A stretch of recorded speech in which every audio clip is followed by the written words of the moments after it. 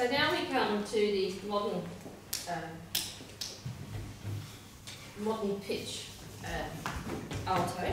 Because, uh, um, and one thing um, that uh, recorders are great for is uh, to play in folk music because it's not so easy to sort of lumber around a, keyboard uh, back in those days.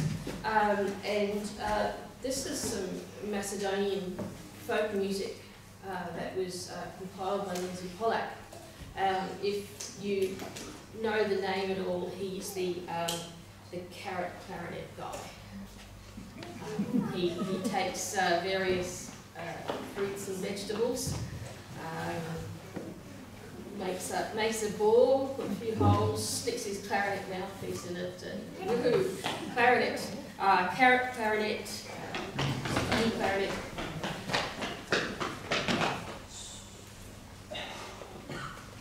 So this is uh, this is uh, and often um, music, uh, Macedonian music wasn't always in 4-4. I know that uh, modern sort of the music that Westerners used to listen to are one, two, three, four, or one, two, three, one, two, three.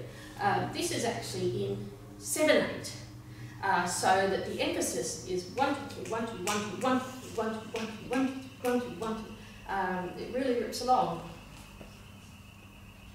And if you, and uh, if you're wondering, um, I uh, I bought this um, because I didn't want to have to uh, reach down for the lowest note. And you'll notice on the bigger recorders that there are. It's not really needed um, on an alto, but I thought it looked cool, so.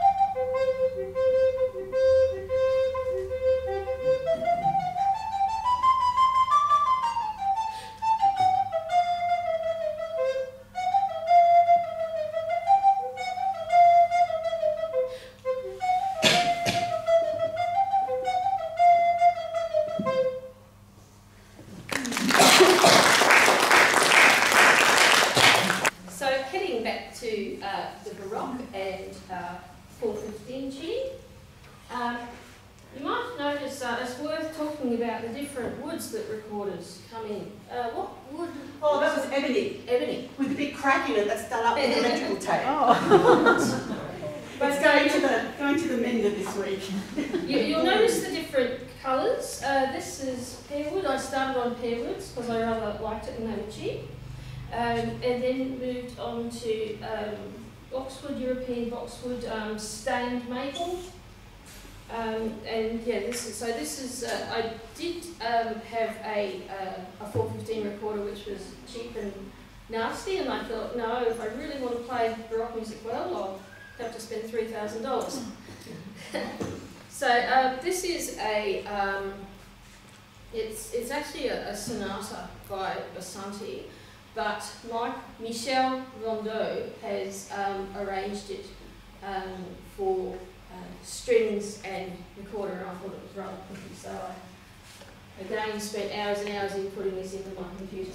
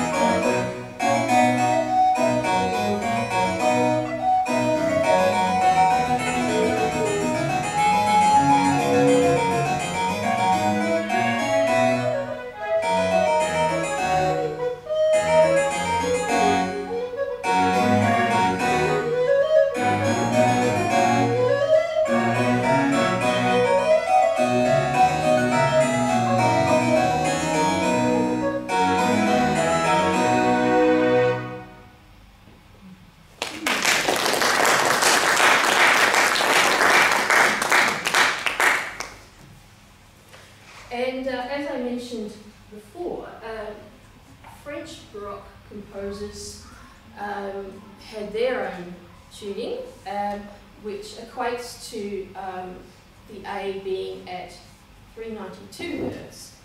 And uh, I think um, I'll just play um, them beside each other so that um, you can you can tell the extra warmth that comes from a slightly bigger recorder.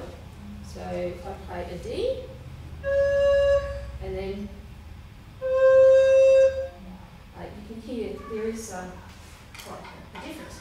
Um, so one of the uh, composers um, who wrote for the alto recorder uh, was a fellow called Boismortier, which I, I learned a couple of years ago actually means dead wood. Oh. Moutier, mort, and bois meaning wood, so dead wood. So this is from um, the fourth suite.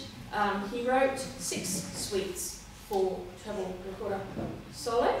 Actually, another another thing that uh, I've learned when I do play Baroque French music is they uh, they didn't write um, for regular treble clef um, because the treble clef usually toils around the second bottom line. Well, the, the French Baroque violin clef actually twirled around the bottom line. Um, and uh, that's led to a lot of um, extra work having to put it in um, modern clef. But uh, luckily, uh, this one is uh, in uh, modern G clef. So I'm going to play um, the air uh, from the fourth suite.